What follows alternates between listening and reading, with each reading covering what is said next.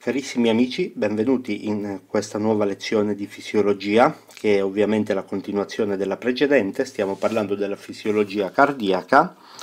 Avevo detto che con questa lezione avrei iniziato a spiegarvi il ciclo cardiaco, quindi la serie di contrazioni degli, dei ventricoli, degli atri e via dicendo, come avviene, qual è la sequenza, come variano i volumi, e la forza di contrazione e tutto ciò che dovete conoscere. Però volevo ritornare un attimino nel, nello schema precedente didattico, che ricorderete sicuramente vi ho spiegato benissimo nella precedente lezione, quando vi ho spiegato l'accoppiamento eccitazione contrazione del cuore. Vi ricordate eh, ricorderete sicuramente che a livello della membrana cellulare del cardiocita è presente questa proteina che vi ho fatto così schematicamente eh, in modo in, in, verde, così un bel pallone verde, ma è una, è una proteina integrale di membrana ed è uno scambiatore, vedete, è uno scambiatore sodio-calcio e come sapete questo scambiatore che cosa fa? Eh, serve per togliere via il calcio intracellulare quando non serve, quando non è più necessario per far avvenire la contrazione. Prende, riprendete la uh, precedente lezione. Per far questo utilizza come energia il gradiente dello ione sodio. Lo ione sodio sapete che è più concentrato all'esterno della cellula, quindi tende ad entrare secondo gradiente di concentrazione e l'energia liberata da questo gradiente serve a portare contro gradiente di concentrazione il calcio dall'interno all'esterno della cellula, quindi è l'opposto, è un antiporto come voi sapete. E quindi questo è uno dei modi con cui, che vi ho spiegato in precedenza, con cui la, uh, il cardiocita toglie di mezzo, diminuisce la concentrazione intercellulare di calcio. Ora state ben attenti perché uno dei concetti importanti, molto importanti, di cui parleremo e che vi accenno fin da adesso è un, il concetto di inotropismo. Adesso ve lo scrivo, inizio a scriverlo e eh, vi faccio capire un po' che cosa significa, poi ovviamente però lo riprenderemo e ora capirete perché inizio qui a, ad accennarlo, per il momento ad accennarlo. Che cos'è l'inotropismo? L'inotropismo è una particolare capacità che ha il nostro cuore di enorme importanza ed è quella di riuscire a variare la forza di contrazione. Ecco questo in base ovviamente a, a stimolazioni esterne piuttosto che interne, quindi eh, poi lo vedremo meglio. Quindi il cuore può contrarsi con maggiore forza può contrarsi con una forza inferiore. Questa capacità di adattamento, quindi questa variazione della forza di contrazione in funzione delle variazioni eh, esterne o interne del corpo, e, eh, prende il nome di inotropismo. inotropismo. Quindi ehm, da che cosa è data? Non vi spiego qui tutti i fattori che sono alla base del, del, del, dell'inotropismo cardiaco, però voi sapete ormai l'importanza dello ione calcio all'interno della cellula. Se aumenta la concentrazione extracellulare dello ione calcio, allora ovviamente questo innesca il fenomeno di contrazione. Quindi se permane maggiormente all'interno della cellula lo ione calcio, il Cl2+, allora questo va ad innescare ecco, uh, maggiormente la concentrazione. Quindi questo, il, uh, trattenere all'interno del cardiocita lo ione calcio è un modo che ha il cuore per aumentare la uh, forza di contrazione. E come può fare? Può farlo invertendo la capacità ehm, di scambio, de, questo è uno dei modi, ce ne sono altri per il momento, per, giusto per farvi capire, del, dello scambiatore sodio-calcio che vi ho spiegato in precedenza. Sapete che funziona in questo modo, utilizza il gradiente dello ione sodio che entra all'interno della cellula per buttare fuori lo uh, ione calcio. Questo è il funzionamento normale dello scambiatore sodio-calcio, ma può anche fare il contrario. Immagina immaginiamo di andare a inibire la pompa sodio-potassio ATPasi L'inibizione, la diminuzione della funzionalità, in ogni caso della pompa sodio-potassio ATPasi, determina ovviamente che cosa? Ha delle conseguenze, cioè non riesce più a riportare come prima gli ioni sodio all'esterno della cellula e gli ioni potassio all'interno della cellula, come dovrebbe. Quindi di conseguenza se la pompa sodio, potassio e TPasi si trova inibita, lo ione sodio non può uscire all'esterno della cellula e la concentrazione dello ione sodio all'esterno della cellula non viene mantenuta. Di conseguenza, se è inibita la pompa sodio-potassio ATPasi, ecco, eh, i gradienti di sodio e di potassio, non, la, tale pompa non riesce a mantenerli come voi, li, eh, come voi conoscete eh, come, come, vi, vi già, come, vi, ho già spiegato nelle precedenti lezioni. Quindi di ione sodio ovviamente nello spazio extracellulare ne abbiamo di meno. Questo che cosa significa? Che lo scambiatore sodio-potassio non riuscirà ad utilizzare il gradiente dello ione sodio che dall'esterno in genere entra all'interno della cellula facendo al tempo stesso per eh, antiporto uscire lo ione calcio all'esterno. Non ci riuscirà perché a monte di tutto è presente la pompa sodio-potassio. La pompa sodio-potassio aumenta la concentrazione di, di, ioni sodio nello spazio extracellulare lo ione sodio poi viene utilizzato secondo gradiente di concentrazione dallo scambiatore e l'energia usata per rimandare il calcio all'esterno, ma se questo la pompa sodio-potassio non lo fa, ovviamente il, lo scambiatore, lo scambiatore sodio-calcio non riesce a fare questo lavoro bene. Quindi eh, che cosa significa questo? Che la eh, concentrazione di sodio di conseguenza all'interno della cellula intracellulare aumenta e eh, il nostro scambiatore eh, non riesce più a far uscire fuori nello spazio extracellulare lo ione calcio. Lo butta invece dentro quindi inverte la sua funzionalità la sua funzione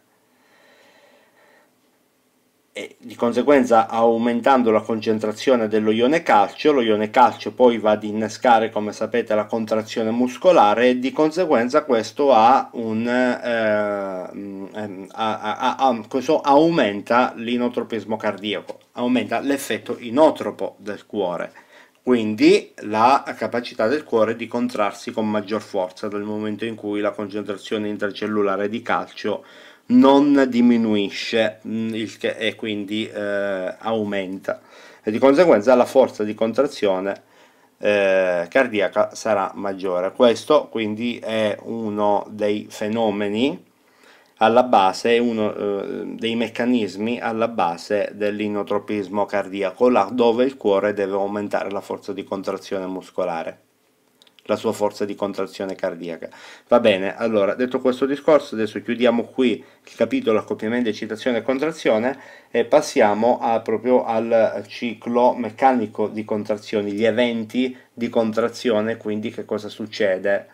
Eh, se si contraggono prima gli altri, se si contraggono prima i ventricoli, perché, come variano i volumi, come viene espulso il sangue, come si chiamano la, la, contrazione, la sistole, la diastole, quindi la contrazione, il rilasciamento, le pressioni che ci sono eh, e via dicendo. Insomma, adesso eh, sembrano lì parole buttate a caso, ma ovviamente tutta una logica. Vediamo quello che è appunto il ciclo cardiaco. Adesso che ve lo spiego capirete che cosa voglio dire.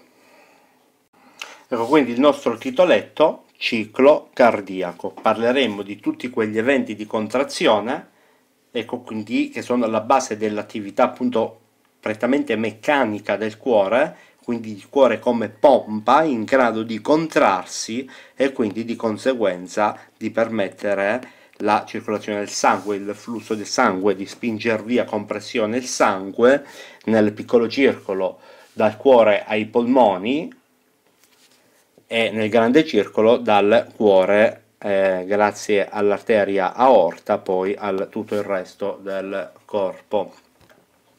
E quindi vediamo quali sono come, come eh, vedremo anche perché si chiama ciclo cardi meccanico cardiaco, ciclo cardiaco è un ciclo, perché un ciclo cos'è? Un ciclo è un qualcosa che si ripete e ovviamente il ciclo cardiaco è un fenomeno che si ripete anche voi stessi ve ne accorgete, mettetevi un po' la mano sul petto, vedete che più o meno avete essenzialmente quei battiti cardiaci che si ripetono, quindi questo già vi fa intuire che deve esserci qualcosa di più complicato ovviamente che eh, eh, si ripete ad ogni eh, tra virgolette, diciamo così per il momento, ogni, eh, per ogni suono che sentite. Mi raccomando, state bene attenti, ehm, dovete, dovete, conoscere bene la, molto bene l'anatomia del cuore, quindi vi rimando ai miei corsi sia di istologia per conoscere l'anatomia microscopica eh, del tessuto cardiaco, eh, che è di anatomia macroscopica e i corsi di anatomia sia di istologia che di anatomia macroscopica e microscopica per conoscere ovviamente anche l'anatomia macroscopica e microscopica di, di tutto il cuore. State bene attenti, quando poggiate quando con il fonendoscopio o auscultate i battiti cardiaci oppure con l'orecchio auscultate i battiti cardiaci dell'amico per curiosità o anche mettendo una mano sul petto eh, eh, sentite appunto il percepite il battito cardiaco quei battiti cardiaci sono dati esclusivamente il suono che sentite, quello che percepite è dato dalle valvole cardiache che si aprono e si chiudono. Quindi è questo il suono che sentite. Non, non il, il suono, la percezione dei battiti cardiaci che eh, potete auscultare non è data dal, eh, mm, dalla, proprio da, da, dalla contrazione dei ventricoli oppure degli atri, ma è data dall'apertura e dalla chiusura delle valvole, delle valvole cardiache. Qui vediamo la valvola tricuspide, la valvola bicuspide o mitrale, dovete conoscerli ovviamente, eh, eh, le valvole semilu semilunari, qui vediamo la uh, valvola polmonare a livello del tronco polmonare, che poi si dirama in arteria polmonare di destra e arteria polmonare sinistra, e non si vede ma sotto a livello dell'aorta all'imbocco dell'aorta abbiamo anche lì la valvola aortica. Quindi in ogni caso l'apertura e la chiusura delle valvole dà origine al suono che voi sentite ma non la contrazione non è la contrazione del cuore a dare origine al suono che, che, che voi eh, sentite. Ma l'apertura e la chiusura delle valvole. Vediamo un po' adesso come si contraggono appunto atri e ventricoli e come pompano il sangue nel corpo. Allora, quindi che cos'è il ciclo cardiaco? Altro non è che tutta quella serie degli eventi eh, eh, meccanici che avvengono in modo ritmico di contrazione, eventi di contrazione e rilasciamento, contrazione e rilasciamento, contrazione e rilasciamento che avvengono affinché appunto il cuore possa eh, funzionare come pompa e quindi pompare il sangue nell'organismo. State bene attenti a due termini di estrema importanza quando parliamo di contrazione, per esempio quando i due ventricoli si contraggono, ecco questa fase, si, questa fase prende il nome di sistole, quindi sistole sta per contrazione, per esempio la sistole ventricolare è il momento in cui i ventricoli si contraggono. All'opposto abbiamo la diastole, per esempio la diastole ventricolare, invece è il momento in cui i ventricoli si invece si rilasciano, quindi si distendono, si rilasciano, non sono contratti ma si rilasciano. Ovviamente alla base della contrazione e del rilasciamento sapete che c'è tutto ciò che vi ho spiegato prima, e, tutto, eh, tutta l'attività, la, cioè permesso da tutta l'attività elettrica eh, del, del, cuore dal eh, meccanismo ovviamente dell'accoppiamento eccitazione-contrazione del miocardio che vi ho spiegato in precedenza fino a poco fa, nella, nella precedente lezione e fino a poco fa. Quindi vediamo adesso quali sono queste fasi di contrazione, rilassamento, sistole e diastole, come avvengono e siccome poi eh, ad ogni ciclo cardiaco si ripetono essenzialmente, sono sempre le stesse, ecco perché prende il ciclo, questi, questi, eventi che si susseguono a monoritmico poi si ripetono nuovamente, allora ovviamente eh, ecco perché questi fenomeni fisiologici nella loro sommatoria prendono il nome di ciclo cardiaco. Quindi sistole è la fase in cui è la fase di contrazione, la diastole invece è la fase di rilasciamento, l'opposto. Mi raccomando, state ben attenti a questi due termini perché li vedremo molto bene nell'arco di queste e delle prossime lezioni. State bene attenti, come vi dico sempre, scrivetevi sempre tutto, ma tutto, tutto, tutto ciò che vi dico, tutto ciò che vi scrivo i modellini che vi faccio vedere. Qui avete anche l'elettrocardiogramma per ehm, eh, che, che, vi ho spiegato, vi ho spiegato nella precedente lezione, che appunto vi fa capire l'attività elettrica del cuore, e qui ce l'avete proprio associata, potete vedere, ecco, le varie onde eh, dell'elettrocardiogramma associate a ciò che effettivamente accade da un punto di vista meccanico al cuore in termini di contrazione e rilasciamento. Però ovviamente per capire come eh, associare lo schemino dell'ECG eh, alle varie fasi eh, del ciclo cardiaco del, eh, meccanico ovviamente dovete conoscere l'elettrocardiogramma bene quindi eh, ve l'ho spiegato andatevi a riprendere la precedente lezione allora essendo un ciclo essenzialmente potete iniziare da dove volete dite tanto è un ciclo parto da dove mi pare piace tanto lì devo andare a finire da dove parto finisco. Sappiate che eh, in linea di massima noi abbiamo in stato di riposo circa 70-75 battiti per ogni minuto, per minuto, che si chiamano anche BPM, battiti per minuto, quindi sono circa 70-75 battiti per minuto e ehm, ognuno di essi dura poco meno di un secondo, circa 0,8 secondi circa.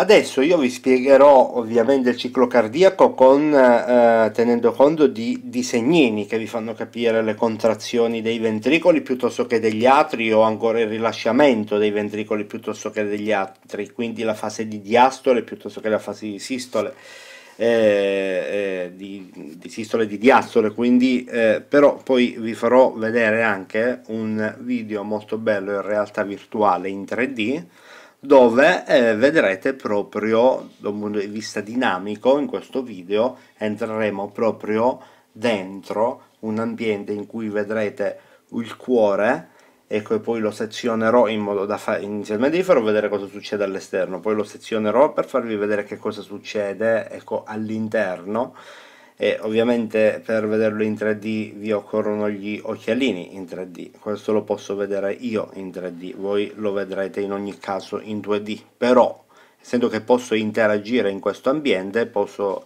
avvicinarmi piuttosto che distanziarmi, piuttosto che guardare dal basso verso l'alto, piuttosto che dall'alto verso il basso, allora posso farvi vedere dei particolari importanti affinché voi comprendiate meglio. Sicuramente è un video che vi consiglio di guardare e poi vi darò il link in descrizione. Per il momento ovviamente eh, il ciclo cardiaco ve lo spiegherò con queste immagini, ovviamente non è difficile da capire quando si contrae e quando si rilascia. Allora, dato che possiamo iniziare da dove vogliamo, in genere rispettiamo un po' oh, le, eh, la media, quindi eh, la maggior parte delle volte, ma giusto così, di formalità, si inizia a parlare del ciclo cardiaco iniziando da dove? dal termine della diastole, quindi inizieremo a descrivere questa situazione dove per diastole significa rilasciamento, quindi siamo in una situazione in cui il cuore è rilasciato, adesso ve lo spiego meglio, per poi parlare della fase successiva che è la sistole atriale, quindi la contrazione. Sistole sta per contrazione, quindi sistole atriale è la contrazione, ma questa è la fase successiva.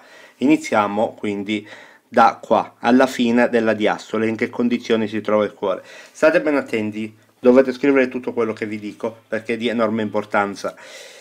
È tutto un gioco di pressioni, quindi rendetevi conto di quello, se il cuore, il cuore si contrae, sono presenti delle pressioni, quando gli atri o i ventricoli si contraggono sono presenti delle pressioni, queste pressioni, queste pressioni sono eh, la causa dell'apertura o della chiusura delle valvole cardiache. Quindi mi raccomando, le valvole cardiache piuttosto che le valvole, le valvole cardiache eh, tricuspide, eh, quindi atrioventricolare destra, o bicuspide eh, o ancora l'atrioventricolare sinistra, detta anche bicuspide o mitrale, e le valvole semilunari, aortica e polmonare non, non, si aprono e chiudono in maniera attiva, come è il cuore che si contrae in modo attivo. La loro apertura e chiusura avviene in maniera passiva, sono delle differenze di pressione che determinano l'apertura e la chiusura di queste valvole, quindi mi raccomando perché questo è un concetto molto importante non c'è un impulso nervoso che è diretto alle valvole cardiache e determina uno stato di contrazione o rilassamento della valvola, non ha nulla a che vedere, quello accade nel miocardio di lavoro presente in atri e ventricoli, le valvole cardiache sapete da un punto di vista istologico e anatomico e macroscopico come sono, fatti, come sono fatte e eh, si aprono e chiudono in modo passivo eh, in un gioco di pressioni quindi soltanto per quello. E determinano la loro oh, apertura e chiusura determina proprio il suono che voi sentite quando poggiate l'orecchio sul petto di chi volete voi e sentite il cuore battere piuttosto che col fonendoscopio andate ad auscultare i battiti cardiaci. Come vi ho già detto prima non, so, non, non, non, percepite il movimento della, delle contrazioni meccaniche di atri e ventricoli, ma percepite proprio uh, questo suono dato l'apertura e chiusura delle valvole cardiache. Quindi valvole cardiache, atrioventricolari e semilunari aortica e polmonare, mi raccomando, hanno, non hanno un ruolo attivo, hanno un ruolo passivo. Sappiatelo perché è di estrema importanza fisiologica sono dei dettagli di enorme importanza che dovete sapere. Quindi partiamo da qua, ma attenzione, non da qua, da qua, cioè alla fine di quella che è la uh, diastole, quindi il rilasciamento. Quindi è questa la... Uh, vedremo al termine della, dalla fine della diastole in che condizioni si trova il cuore e poi appunto vi farò capire che cosa succede in questo ciclo meccanico di eventi di contrazione, sistole e di rilasciamento di astole che permettono al sangue di essere pompato dal cuore. Quindi riprendiamo il nostro schemino, iniziamo da qua alla fine di questa situazione del ciclo, quindi al termine della diastole. State attenti perché a breve non ve lo scriverò più, voi lo dovete strasapere a memoria. Sistole è uguale alla fase di contrazione, diastole è uguale alla fase di rilasciamento. Se io dico siamo in sistole ventricolare vuol dire che i ventricoli sono contratti, la diastole ventricolare vuol dire che i ventricoli sono invece rilasciati. Quindi partiamo da qua, dalla fine, dal termine, da quello che è il termine della diastole, prima di esserci una nuova sistole, quindi contrazione sistole atriale. Descriviamo che cose, cosa succede al termine della diastole. Vi ho semplicemente ingrandito un po' il grafico, adesso ve lo ingrandisco un po' di più, quindi no, lasciate perdere questo start, non vi interessa qui start. Partiamo da qua, vi ho già detto che partiamo da qua al termine della diastole, quindi è questa la descrizione che faremo, come in che eh, stato si trova il cuore qui. Mi raccomando, state attenti, aprite bene le orecchie, è una cosa importantissima, l'anatomia del cuore la dovete stare a conoscere bene, quindi non, non pensate che io sia qui a, scrivermi, a scrivervi i termini, eh? sono robe che si conoscono anche alle, alle scuole superiori, eh? atrio destro, atrio sinistro, ventricolo destro, ventricolo sinistro, valvola atrioventricolare destra, detta anche tricuspide, valvola atrioventricolare sinistra, detta anche bicuspide o mitrale, valvola semilunare polmonare a livello del tronco polmonare comune, quindi che poi dà origine alla arteria polmonare di destra e questa arteria polmonare di sinistra, quindi ramo di destra ramo di sinistra, arteria polmonare di destra e di sinistra. Queste sono le vene polmonari, ormai non le vedete tutte, le vedete in sezione, sapete come sono già fatte dall'anatomia, le vene polmonari che imboccano eh, l'atrio sinistro del cuore e qui dal, eh, il ventricolo sinistro comunica con l'arteria aorta, questo è il tronco aortico, e poi ovviamente abbiamo aorta ascendente, tronco aortico, aorta discendente e via dicendo tutto quello che c'è il ventricolo sinistro è in comunicazione con l'aorta grazie alla valvola uh, aortica, questa qua. Quindi mi raccomando, questi eh, concetti anatomici li dovete avere stra chiarissimi, anzi meglio. Descriviamo si, in che situazione, in che condizione il cuore in questa benedetta fine della diastole. Allora, state ben attenti, essenzialmente dovete osservare quello che vedete nello schemino. Al termine della diastole, già la stessa parola lo dice, quindi siamo in fase di eh, rilasciamento, non in fase di contrazione, che cosa vedete? Come si trova il cuore se doveste, doveste avere la capacità di bloccarlo in quell'istante al termine delle diastole? Vedete che gli atri non sono contratti, le pareti degli atri sono rilasciate. Lo stesso vale per i ventricoli, anche i ventricoli sono rilasciati, quindi sia gli atri che i ventricoli si trovano in diastole. Passiamo alle valvole, voi dovete eh, descrivere tutto quando descrivete il ciclo cardiaco.